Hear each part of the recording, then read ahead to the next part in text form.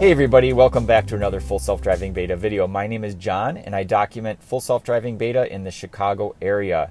I have been testing beta since October 24th, 2021, which is about 19, 20 months now, and I'm super excited to have the latest version of beta to test out here in downtown Chicago. I'm going to take it through a series of destinations, but first of all, you may be wondering, how did I get the latest version of beta? I was let into the OG group.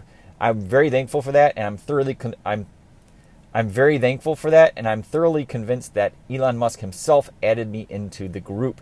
He has replied to three of my tweets. I garnered quite a bit of attention through testing the safety around children. I had some dummies in the road, and I did a number of different tests.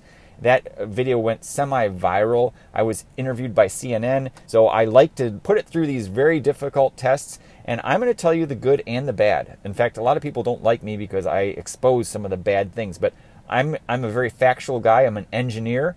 I document things and I, I gravitate toward the things that it does wrong. I mean, it, it doesn't make sense to just filter everything and post only the good. So I post both the good and the bad. So let's take a look at where we are. I am taking it, first of all, to the Trump International Hotel, and then I'm going to take it over to the Chicago Theater, and then uh, I'm going to take it over to Millennium Park on the Magnificent Mile, which is Michigan Avenue, and then over to the Willis Tower, which was formerly known as the Sears Tower. And then last but not least, we're going to be swinging by the Chicago Union Station. So these are some iconic locations in downtown Chicago. This is a very dynamic environment. So let's go ahead and get started. Double tap down. And it says limiting speed, max speed for road type. Here we go. We are off. There is a dog. I did not see the dog show up there. It's hit or miss on dogs. They used to show up pretty consistently. Okay, coming out here, I'm looking left and right. It is clear to go. Good. It needs to get out of this turn lane. Actually, we are turning left here, so this is the correct lane to be in. Every so often, I'm going to be jumping in here while I'm editing just a comment. I think it's hilarious that the car is smarter than me and knows which lane to get in going forward really nicely there. Nice and smooth. Beautiful. It kept the inner lane there. I liked that a lot. Coming through here, an unnamed road. So it looks like it's going to actually take the highway to get here, which is not really what I would do. Actually, it's going to get off at Lake Street. Very interesting. It's kind of almost like going onto the highway, but then it's going to have to get all the way over, I think. Let's see here. I don't drive down here that often. So, Lake Street. Okay, here we go. Up here, we're going to be turning right. So take a look at this. I don't drive down here all that often myself, so it's awfully confusing this area, but it's going 25 miles an hour. I'm letting it go slow, nobody behind us. It's saying that we have to get off at Lake Street, so I'm looking for the exit myself, trying to figure out where it needs to go. It needs to go right over there to the right, and it's missing it right there. Unfortunately, it totally missed it, so it does have to reroute at this point. Ooh, now it's not going to be able to merge. Let's see what happens here. It's going to have to do a pretty big detour. So it's trying to go to the right, and it's asking me now to take over. So I had to step on the accelerator because it didn't know what to do there. So I'm going to take over and turn it back on. It missed that exit. Unfortunately, we are off to a bad start, ladies and gentlemen. it's going to get off here, though, and then correct itself, and we'll be back on the city roads. I was a little bit surprised that it went out on the highway. I've dialed in these destinations before and it's never taken this route before, so I'm not sure what changed or why it decided to do what it did. But once we get off here, we should be back on track. Hopefully, it'll still go on Wacker Drive. Oh, it looks like it's coming up north now, so no more Wacker Drive.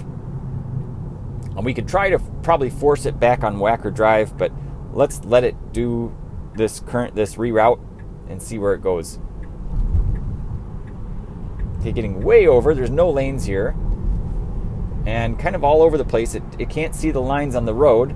And there we go, it corrected itself. In that situation, I think it did a fairly decent job. Even as a human driver, I couldn't really see the lines that well. The cool part is that once it recognized where the lines were, it didn't swerve abruptly into the correct lane. It just kind of coolly and calmly moved over. And as a viewer of my content, I really value your time. Thanks a lot for tuning in. I'm going to fast forward past all the parts that don't deserve any special extra attention. Okay, so coming up, we're going to be turning right onto North Clark Street. We don't have too many people out and about yet. Still a little bit early on Saturday here. Traffic is pretty decent. We've got quite a few vehicles on the road here. We've got one more street here, and we're going to be turning right. Needs to get all the way over here. Nobody behind us at the moment, so it puts me at ease. And we're going to be facing this red light here and people crossing the road. Now, technically, we can turn right on red. There is no sign here that says we cannot. We do have another pedestrian coming. Thankfully, it spotted them before it went for it. Okay, now that she has passed over, we are good to go. Let's see, we've got a bicyclist coming on the left, and the car is waiting for the bicyclist. Smart. We've got another cyclist coming up pretty quick on the left and the car almost went right into him. so he, he looked at me and was a little bit worried that I was going to go, but thankfully Beta saw him at the last second and slowed down. I have to correct myself here. Beta did not see him at the last second. It saw him the entire time. You can see him coming in from the left here. I'm going to zoom in and slow this down even more so we can really examine this. Here he is gray. My car starts to move. I'm going to provide this feedback to the Beta team. It should not have done that, but it did take caution and it did hesitate. It did not run into this bicyclist. Changing lanes to follow route. Great. So now we are going to be ending up here on Wacker Drive. All right, proceeding forward here.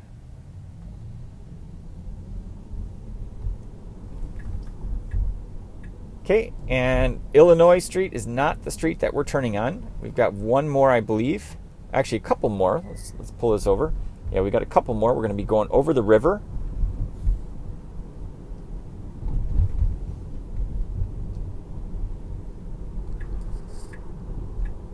Okay, getting in the left lane. This is not the right move. As you can see, there's some vehicles blocking us, and it made the correction pretty quickly. Someone coming up behind us thankfully didn't interrupt them too much there. And that car there pulling over, and here comes the river. Go right over the river. Okay, green light. Going through here and stopping for traffic light. Left turn signal is on. This is where we are going to be turning. And we've got a lady up there with her dog. And here's another gentleman with his dog. And there's the dog. It showed up there briefly. Good, good. Scooter. it just shows some guy like floating across without any bike or anything. That was pretty funny. All right, I had to do a replay of this. Woo!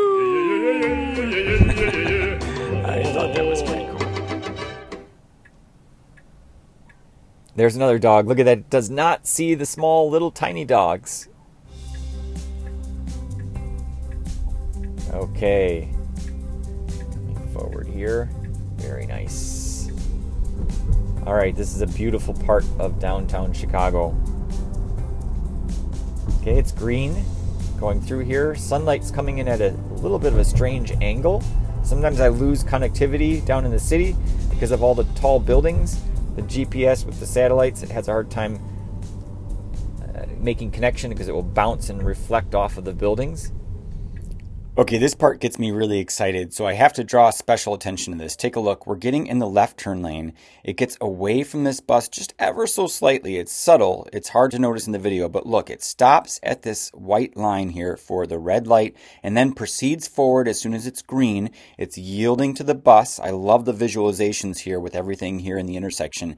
It made me a little bit nervous with that bus. I wasn't sure if it was going to go or wait, and it did wait. It's doing the right thing. And now look on the left side. Look at all the cyclists. Look at all the pedestrians. They're crossing. This is not a time to go. We're in the middle of the intersection at this point. And I'm wondering, is it going to start going? Now, nobody's behind me, so nobody's pressing me. In a city like this, you really want to be moving ahead more than you're staying back. So now it goes. Look at that. It turned red. It ended up going. That's the first time I've ever witnessed beta move in the middle of the intersection when it had gotten stuck. So it was basically stuck there, waiting, waiting, and then it missed its opportunity. The light turned red, and then it went for it. I absolutely loved that. I thought that was great. Okay, coming up here, this is it. This is the International Hotel, or the Trump Tower. And now there's someone coming out. They want to go around, I'm sure. Okay, so I'm going to put it in park really quick and say continue trip. And now we got someone right behind us. All right, and then we'll go ahead and turn it back on again. Perfect.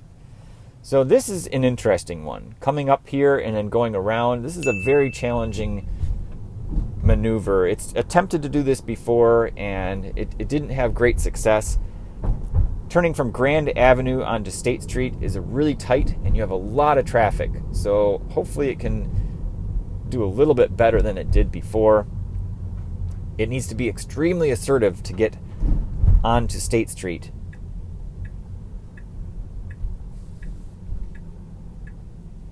Okay, light is yellow, and now we have to wait.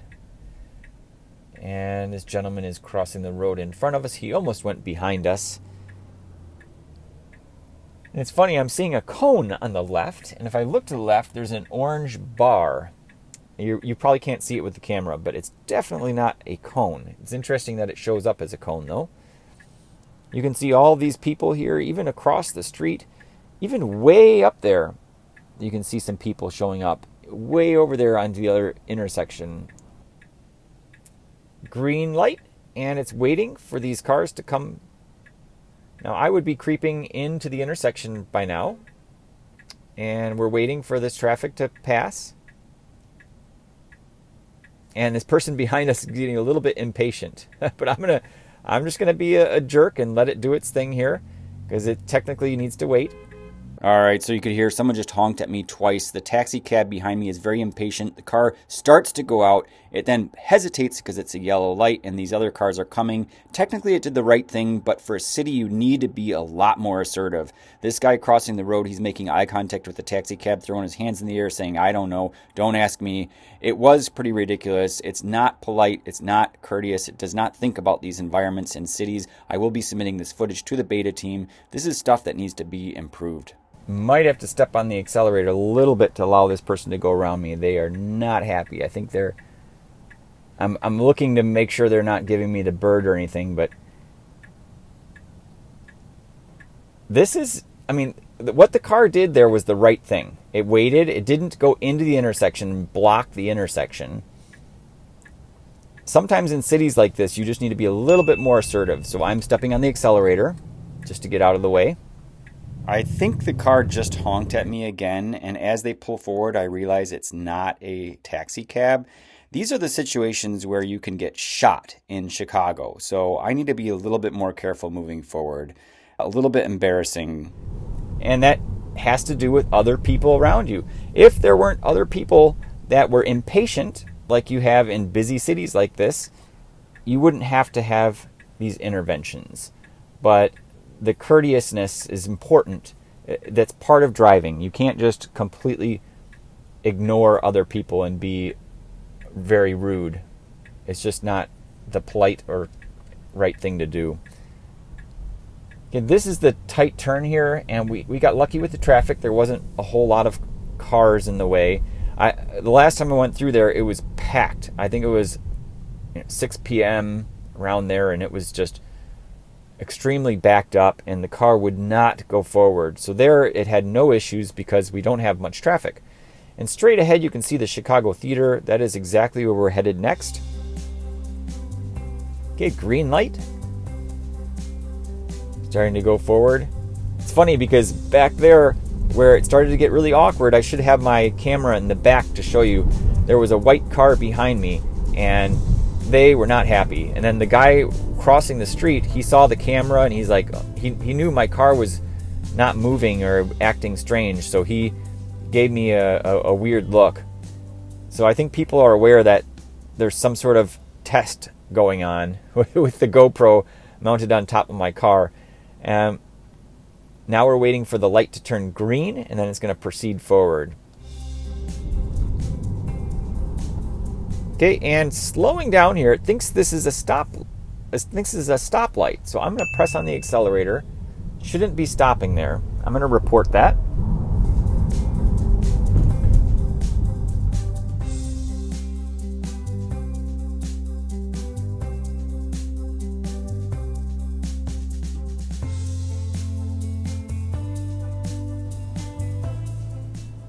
All right, it's a green light, but this guy is kind of blocking the road. Let's see what happens here, okay? Starting to go, a little bit around him. Good. Gentleman with a stroller there. It didn't hesitate, although it's giving them enough clearance. It was very hesitant and aware of them being there. And coming up here, I have the destination dialed in to be just to the right of the Chicago Theater. So it says we're going to get there in 300 feet. Now we have this bus here. But what I can do from here is, I believe, let's just try it right now. We'll put it in park. Yes, and we'll say continue trip. Might as well do it now rather than interrupting traffic later. Put it back on. Wait for the steering wheel. Come on. Okay, I had to step on the accelerator. We get a bus coming up hot behind us. Double tap down. All right, great. So you can you can see it's going to circle around here to head over to Millennium Park. So we're on our way to Michigan Avenue right now. It just changed lanes automatically. No feedback from me on that one. It found the gap. There's a truck right in back of us. We've got three intersections before it's going to be turning left onto Monroe Street, heading east. All right. Slowing down for this intersection, you can see the three red lights there, and they're all there. That's that's as many as there are. It sees all of them. Great. I look around and everyone's pretty laid back, relaxed. Everybody that's walking around. It's just these drivers that are impatient and in a rush at this point, I go on and on about how everybody is in a rush around me. I come up to this next intersection, and you'll see it doesn't quite creep into the intersection while the light is green. This continues to be one of the main gripes that I have about beta in the city. It really needs to get out there and take initiative. I think the previous time it did that, it thought it could actually make the turn. Whereas now it's taking extra caution, and I mean, it, it's it's like okay, it's a little bit of a debate. You know, is it appropriate to go out in the middle of the intersection or is it not? Well, I, I can tell you that it's definitely safer and more appropriate to not go out into the middle of the intersection. But in a busy city like this, you definitely have to be assertive. You have to push yourself out there. So I just missed an opportunity there. And this taxi cab, it actually is a Lyft driver behind me gets a little bit impatient. You're going to see when the light turns green here again, they start to come up really close and push and encourage me to go out into the middle of the intersection.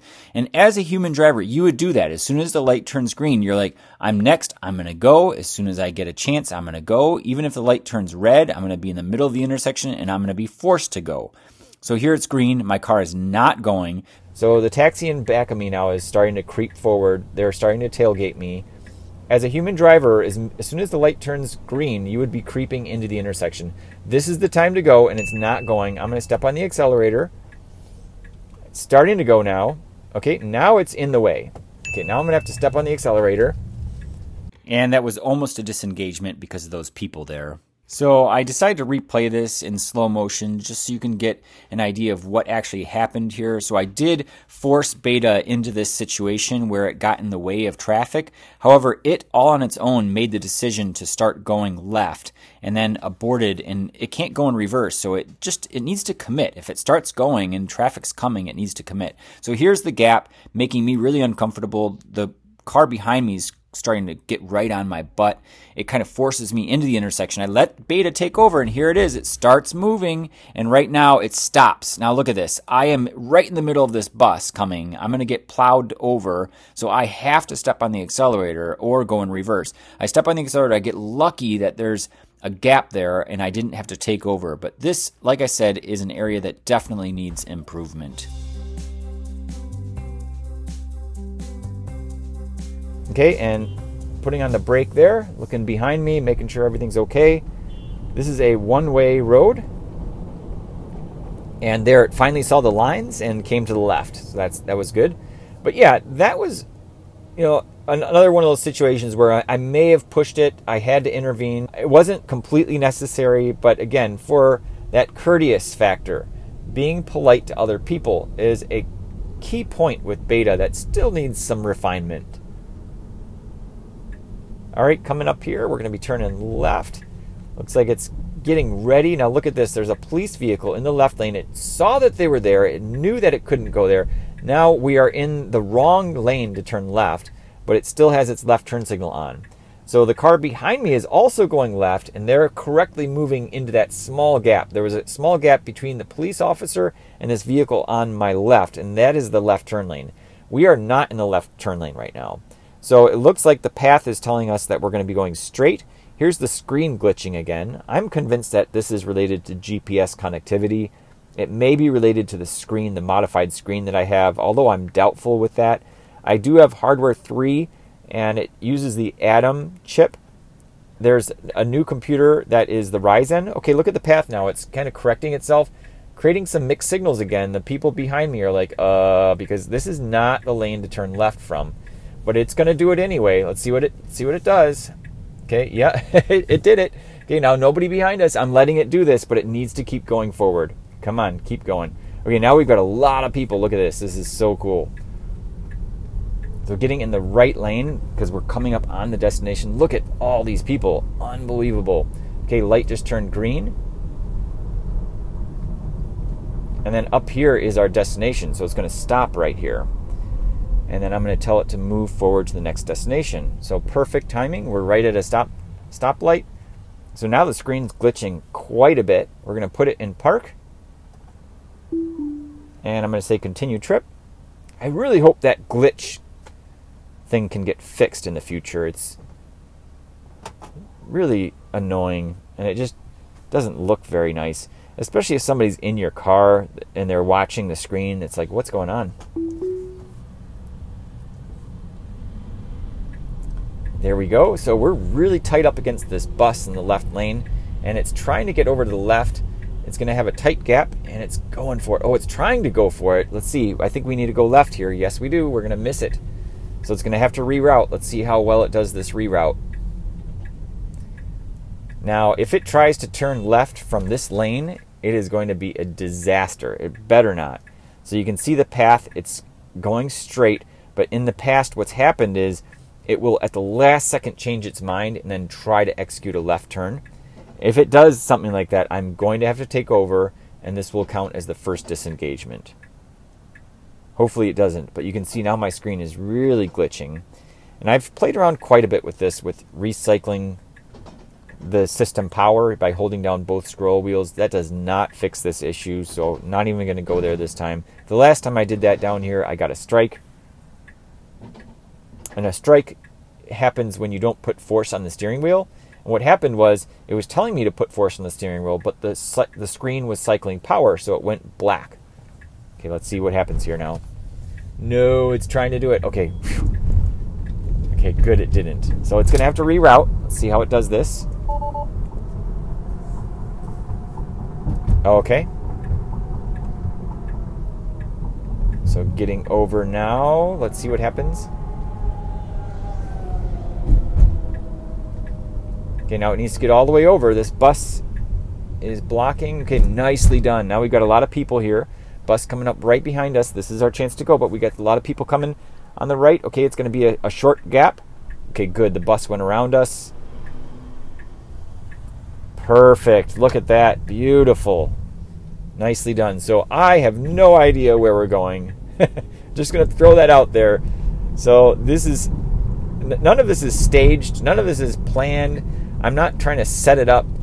Okay, here's a stop. Look at this stop sign an interesting area here. We're kind of going under some bridges. Now, this car on the left, okay, they're stopping. Okay, good. Look at this. It's decision making. Ooh, now that car is going to start going. Come on, Beta, you can figure this out. Keep going. Okay, that car was starting to go. They're like throwing their hands in the air. What's going on with this guy?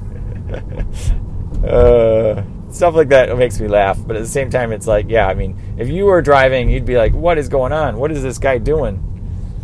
All right, perfect. Look at this going straight out. This is a tricky road. Hard to see the lines.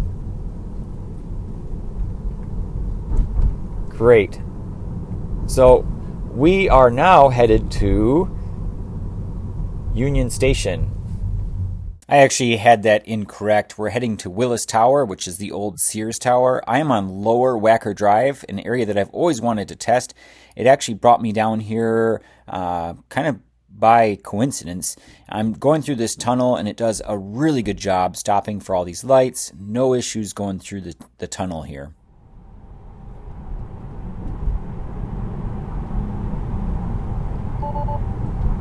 Full self driving may be degraded. That's interesting. Because of this dust, it's creating kind of like a fog. It's having a hard time, I think, with the camera seeing what's going on. But even though it's degraded, it can still operate just fine. Okay, and look at that. Beautiful. Coming out here to go back up. It it could easily have made a mistake and gone to the right, but it knew to stay to the left. That was really well done. Coming right up out of that underground area. Beautiful. And the left turn signal goes on. So now the person behind us is going to get a little bit confused, I think. Not sure why the left turn signal is going on. It's very clear that we are going to be going straight and jogging right a little bit. Nothing to do with turning left.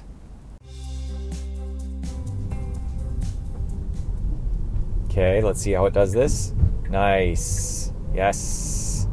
It's exactly where we need to go. Beautiful.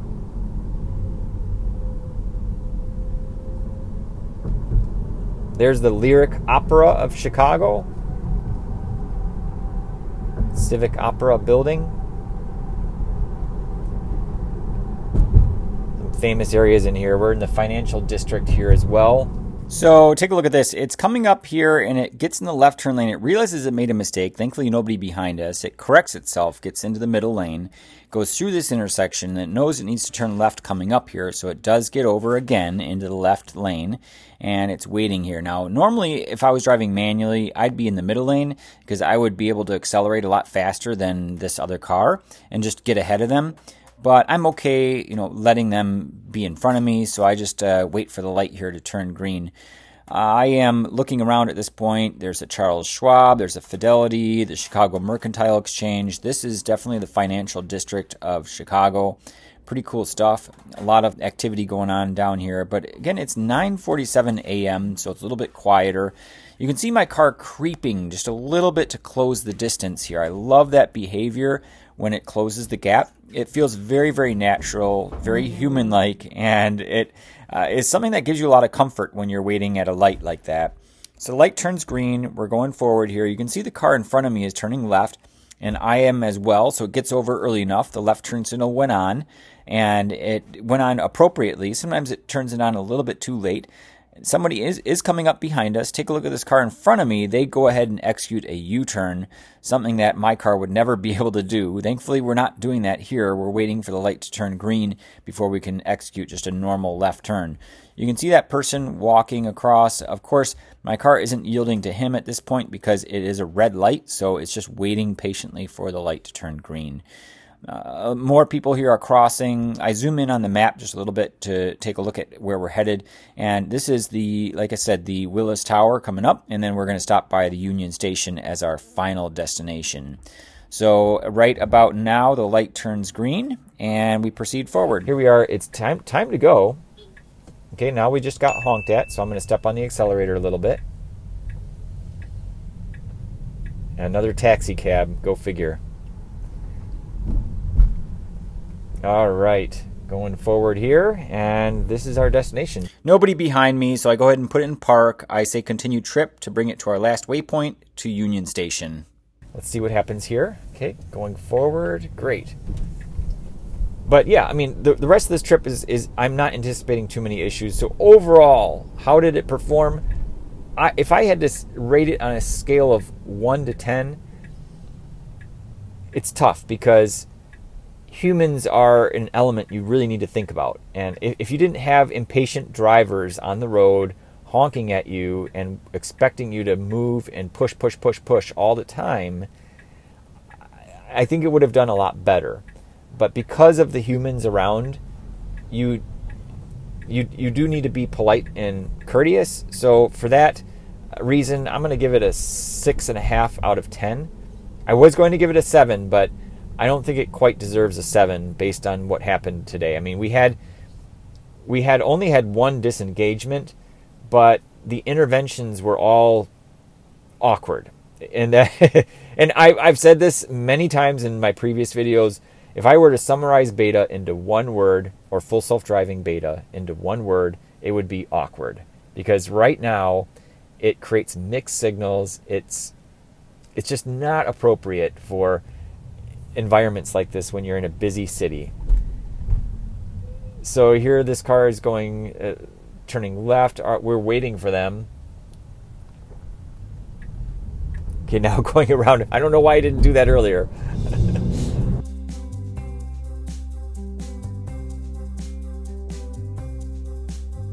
all in all, like I said, I'd give this a six and a half out of ten.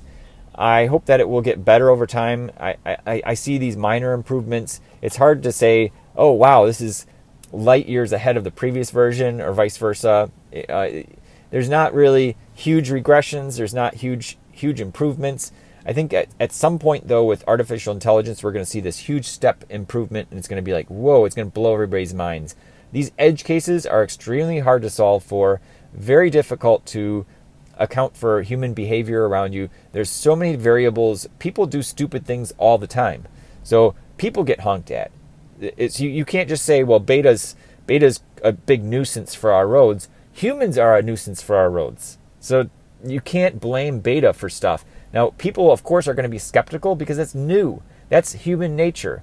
Someone's going to say, "Hey, you need to stop doing that," or you, you're, you're you're, you're creating issues on the road. Well, I have news for you. The humans are creating issues on the road. So if everything was auto- automated, then it would be it'd be a lot more seamless. So I think it, it's just that weird period of time where we're going to have this mixed version of, of autonomy. You're going to have manual and automated, and it's going to be very challenging. So Tesla's taking a stab at it. You got to give them credit. It's extremely uh, enormous the challenge that they're faced with trying to solve and can it be solved? I don't think so. I mean, if I'm talking 100%, can it be solved? I don't think so. Can it get 90% or, or higher? Yes, I think so. And, and for that, it's, in my opinion, worth it to be a part of the program to help it improve because that extra 90%, excuse me, that extra 10% is is going to need a lot of input, a lot of data because it's that, that extra 10% is 90% or more of the effort to get right. Anyway, uh, I, I could talk all day long about this. Thanks so much for watching, guys. I will see you in the next video and stay tuned for more full self driving beta videos.